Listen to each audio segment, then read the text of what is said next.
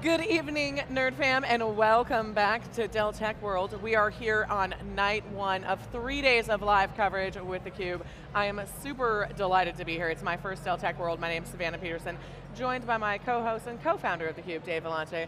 Dave, what a special event. I love theCUBE after dark. It's like some of my hey, favorite stuff to do. Don't get me started on that. You know I have a lot of ideas for theCUBE All right, after yeah, dark. great, bring you 'em, know, I mean, bring we got to start Savannah. involving some of the nibbles, some of the cocktails, some of the fun tech that people use at nighttime versus their connected systems during the daytime. We'll get there. Bring the ideas, We'll get there, you know, yeah. hey, I, you know, you know who might be open to some of these ideas is our friends at Dell. On that, on that. I have no ideas for Cube After Dark. But I'm happy to talk to you guys, day or night. Well, great to see you, Anytime. JJ. You too. On that note, we have JJ Davis, the Senior Vice President of Corporate Affairs at Dell. Thank you so much for being here with us tonight. Thank you. How exciting is it for you to be at the show? Oh, well, I mean, we look forward to this, Is this like- event every year, and, and we laugh internally that the day after the show, or maybe the Monday after the show ends, we're already planning for Dell Technologies World uh, the following year, and just think this AI train that we're now on started for us right here with Project Helix at Dell Tech World a year ago, and, and now so much has changed so rapidly. So what's that journey been like in the last year? Well, I mean, you know, it's all about helping our customers really understand how to get started, like, like Michael talked about in the keynote this morning. And the time to get started with AI and Gen AI is here and now, and it just creates endless possibilities in terms of technology advancing human progress, which is why we exist. I can't really think of any greater purpose on earth than to help the world, um, you know, transform digitally to deliver more opportunity to more people. And in, and in this new space, one of the things I'm excited that we're focused on talking about in our session tonight is end-to-end sustainability in this space. And when we're talking about, I, I love when we hear Michael, and any of the other executives talk not, not just about AI for business, but how AI is actually going to change lives, save lives, enhance lives. And so what does end-to-end sustainability mean in terms of AI for Dell? How do you do that? That's a big task. Yeah, sure. So part of my job as part of corporate affairs is leading our ESG or environmental social responsibility or social governance strategy. And we recently have launched, if you will, or unveiled this idea of end-to-end sustainability. So conversations we were having with customers was, I really need a better sense for where sustainability is built into all that you're doing at Dell. So um, we formed our ESG function over three years ago. We evolved from thinking about it as social impact or corporate social responsibility to really a business imperative and how you drive uh, ESG across the entire enterprise to better serve customers because they're trying to meet their own sustainability and climate goals and they need our help.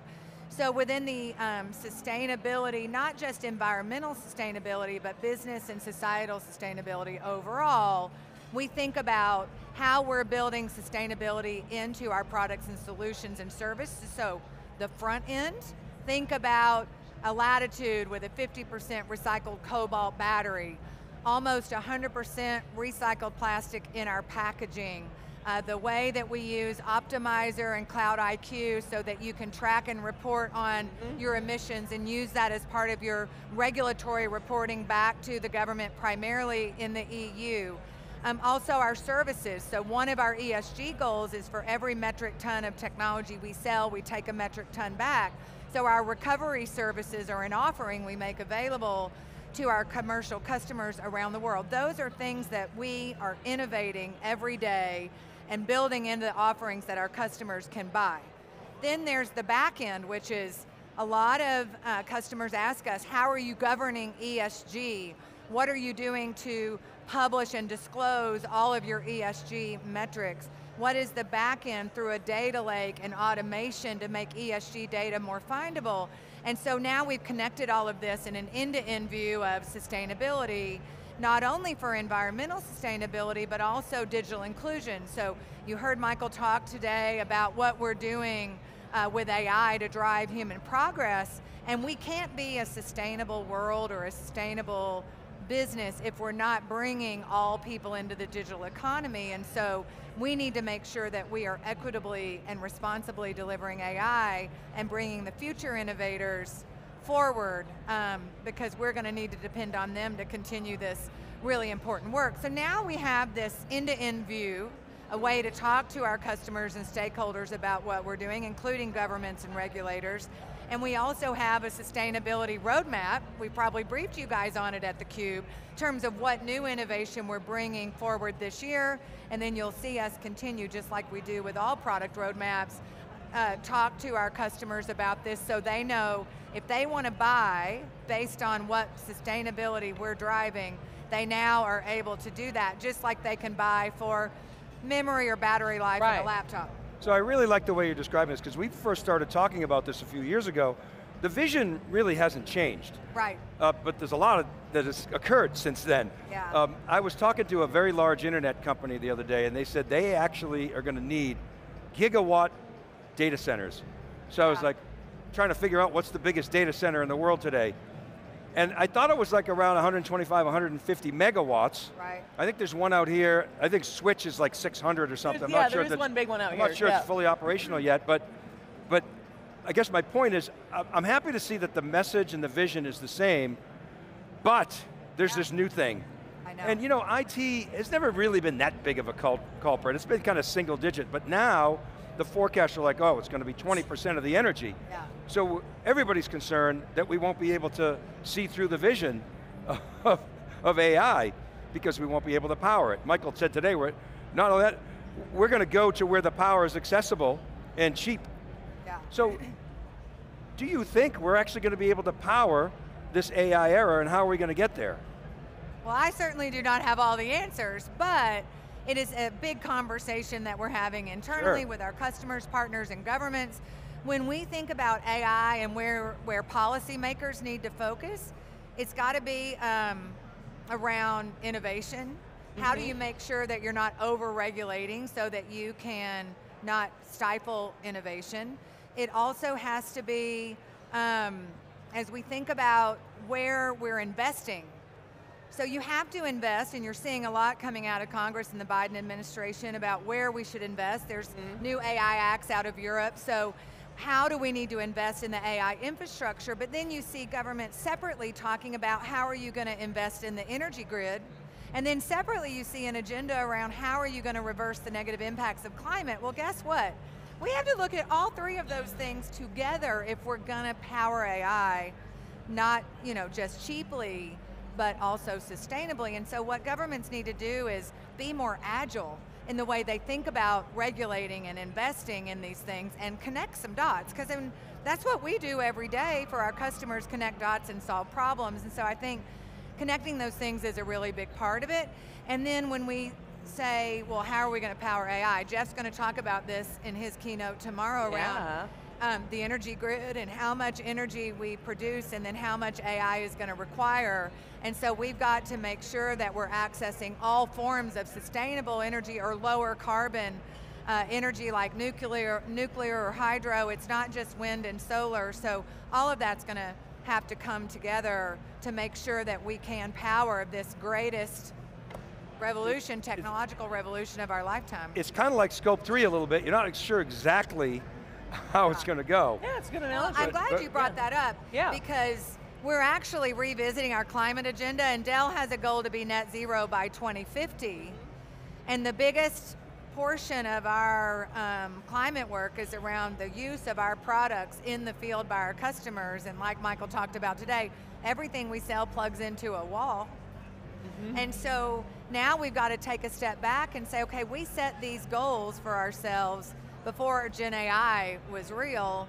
Now we're taking a step back and looking at what we need to do to have an AI specific goal or to revisit um, the goal set that we put forward as we work toward key milestones to get there. I think, I, I, yeah, I mean, it's so important. I was even, I was delighted by some of the robotics work you're doing to disassemble electronics to then Yeah. recycle the parts. I mean, you're really, you're touching a lot of levels. One other thing I thought was interesting was I was researching, talking to you, Dell has been putting out an ESG report since 1998. That is a long time. That's actually pretty impressive.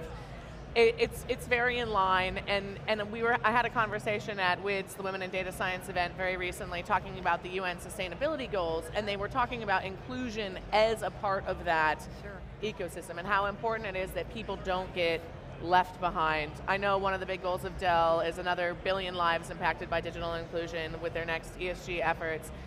How are you, I feel like this is such a unique and dynamic problem.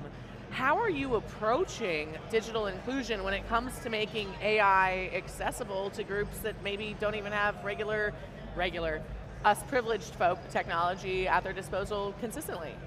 Well, I think it's 2 billion people in the world aren't accessing the internet today, and so I think that, you know, we still haven't solved this problem even before AI became right. real. And it's, so yeah. what we want to make sure of is that we're bringing AI into our digital inclusion efforts. So one of the things we did is through our social innovation team as part of ESG, we were one of the first groups to do a use case on the back of on-prem Dell infrastructure for digital assistants. So we are announcing, or we announced today, as part of our AI news that we now have a Dell validated design for the use case of digital assistant. And any company can develop a digital assistant to meet their business needs, whether that is um, for customer service, the city of Amarillo is doing it to make their city services more accessible to people. Well, we created Tomas as a suite of digital assistants, if you will, to teach kids soft skills as they go interview for jobs in the tech sector, and we're training them on technical support and other elements of being certified so they can go gain employment and in some cases quite literally lifting themselves out of poverty. Some of the kids that were here on stage with us today have never been on an airplane. So there's just, AI is a really important we need to make sure that as we have more participation, equitable participation in the digital economy, well, what we mean by digital economy today is different than it was even a year ago. So we're working hard across our social totally, innovation yeah. to ensure that the work we do is bringing all um, people into this opportunity, but there's some real basics still that we have to tackle as a society, and so we're trying to focus on that holistically. Basics, right, and it's super important because I heard a stat the other day, it might have even been an Elon stat, so you take it with a grain of salt, but sometimes he makes some good predictions. He said something to the effect of within the next five years or 10 years, whatever date you want to pick, 99% of the intelligence in the world will be non-biological, in other words, machine intelligence. Machines, yeah. So, to your point, if 2 billion people don't have access to that intelligence, that's, right. that's not right. Well, you're going to create an even bigger divide. Yes. Right. So that's what we're talking about and, and working on is how do we make sure that even if it's leapfrogging what we're doing today to bring everyone into this AI era, and how could they use a mobile phone, for example, to participate? So. So I'm curious, You've got a child graduating this week. Very exciting. Yes, I do. Would you like to give him a shout out? Who's graduating? Oh my gosh, yes. Hey, Michael Davis, congratulations on an yeah, amazing right. high school career. He is my second. My oldest son, Jake, is at LSU and pre-med and doing awesome. And then I have an eighth grader going to high school. So life at my house is incredibly uh, chaotic. But what an amazing time for these kids to be coming into their own as young adults and my job is to prepare them for what's ahead and try to create every opportunity in the world for them. I think that's my most important job. Exciting times for you. No, so I love this. So this is where I'm driving, and I did want to give them a shout out. Shout out to all of us from the Cube, to all the grads. Congratulate all y'all. It's a big deal. Very exciting time to be alive. What is conversation at the dinner table like with you and your kids around AI and sustainability? Oh well, um, so I have three sons, and you know my youngest, who's now 14, gave up single-use water bottles as a first grader for Lent, and we haven't used single-use plastics wow. in our household in 10 years. So wow. that is a thing. That's um, amazing. In Love the early that. days, we had a, a video about what Dell was doing to advance sustainability and, it, and I went and spoke to his first grade class. So this has been a conversation for a while. Now the conversation with the teenagers about AI is to make sure that they're not plagiarizing or using it to write right, their English the papers. Yeah. So the whole, I mean, it is more about how can it be used in education and as a tool, not as a replacement for thinking and being creative and, and so it's more about what to not to do and setting those rules, just like we have to set ethical AI rules in our companies, families have to do the same thing. really great analogy. Oh my gosh, I love that. Wow, it's, it's you're truly a holistic leader in this space, aren't you? We're just barely hanging on. I don't know. It's just how it goes. I, I, I feel you. hey, we're all doing the best we can in our human right. suits on this That's particular right. journey on this rock. Closing question for you. You mentioned so much has changed in the last year. What do you hope to be able to say when we have the pleasure of having you back on the show at the next Dell Tech World that you can't yet say today? Well, I mean, we didn't imagine we would be here when we were here, you know, a year ago with Project Project, Helix. I mean, you know, amazing. it was a To the concept at the Yeah. time. And so, you know, I think for Dell Technologies, the work that we do with our portfolio, so what we do, and the work we do with ESG, which is who we are coming together, the impact we can have for our customers and our planet has never been greater. So I've been at the company for 24 years. Um, So you started year. when you were two? Yes, Yeah. exactly. so my 24 year anniversary is in December. Um, and it's just a new challenge every day. And so I can't imagine exactly what we'll be talking about, but I know it's going to be impactful.